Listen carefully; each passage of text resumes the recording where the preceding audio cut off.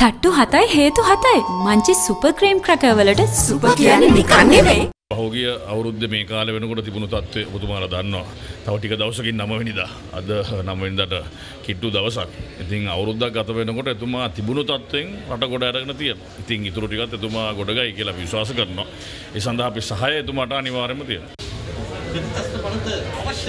අනිවාර්යෙන්ම අත්‍යවශ්‍ය. ඒකට හේතුව ත්‍රස්ත මර්ධන පානත නැත්නම් PT එක Prevention of Terrorism Act එකට අද විශාල විරෝධයක් තියෙනවා. මොකද ඒකේ විශාල බලයක් තියෙනවා. ඕනෙම කෙනෙක් අත්අඩංගුවට අරගෙන රඳවලා තියාගන්න පුළුවන් අවශ්‍ය තරම් කාල සීමාවක් නඩු ගොනු කරන්නේ නැතුව. එතකොට මෙන්න මේකට තමයි මුළු අද ජාත්‍යන්තර ප්‍රජාවගේ බරපතල විරෝධයක් තියෙන්නේ. යුද්ධය අවුරුදු වෙලා යුද්ධය අවසාන වෙලා අවුරුදු මෙච්චර ගානක් ගත වෙලත් ඇයි මේ PT එක නැත්නම් Prevention of Terrorism Act එක පාවිච්චි කරන්නේ කියන කාරණේ. එතකොට ඒකට විසඳුමක් හැටියට තමයි ප්‍රතිතස්ත පනත ගේන්නේ. එතකොට අරකට වැඩිය සැර අඩු එකක් තමයි මේකෙදි අරන් එන්නේ. හැබැයි ඔය අර කඩාකප්පල් කාර්යෝ කියන දැන් ඉන්න ඕනේ වෙනම ත්‍රස්තවාදී જાතියක් උත්තර පත්තර බලන්නේ පාසල් දරුවන්ගෙන් රජයෙන් පඩි අරන් ඊගාට පාසල් දරුවන්ට මේ විශ්වවිද්‍යාල දරුවන්ට ඉගෙන ගන්න දෙන්නේ නැහැ.